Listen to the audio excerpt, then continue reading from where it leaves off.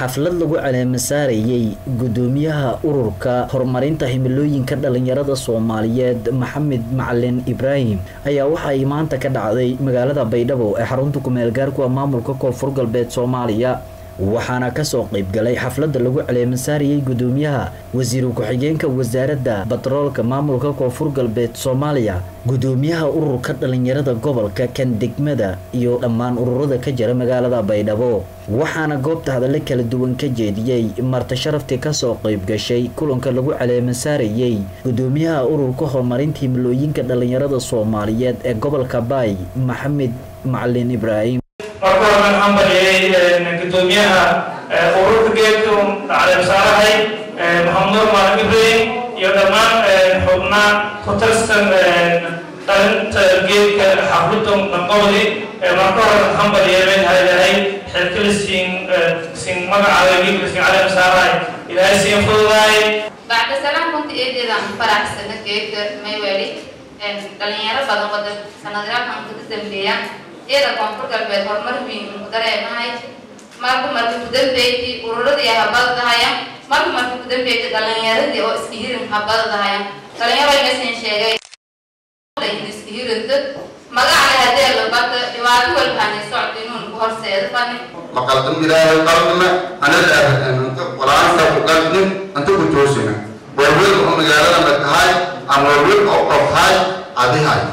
haddii aada shabkulagta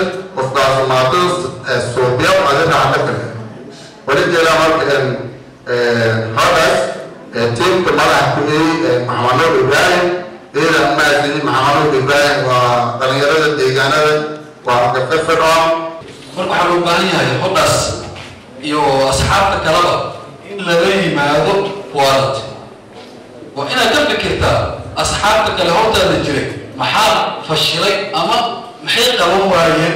oo maxaa ku dhaha suurtooyi waaye oo adi aad qaban karta inaad ka fikirta muhiim waay haddaasan ka haddaadan ka fikirin waxaa la mid noqonaya dadka hore ku jiray dabcan micnaha marka aad dhahayo horma jeedi dadka hore ku jira waxba qabana ma dhahayo laakiinse waxaad dareemaynaa gaabsaqada inuu jiro. Waxaa gebagabadii goobta ka hadlay gudoomiyaha ururka horumarinta himilooyinka dhalinyarada soomaaliyeed ee gobolka baay maxamed macalin ibraahim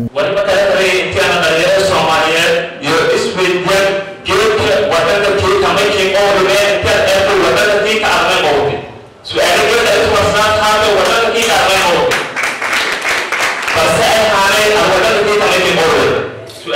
intiana dhalinyarada soomaaliyeed iyo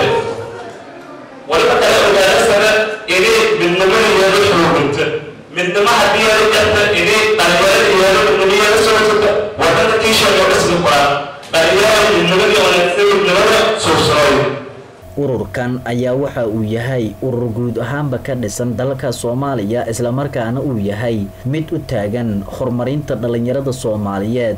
Xasan cali daawud xasan sheelare t v-ga caalamiga star t v magaalada baydhabo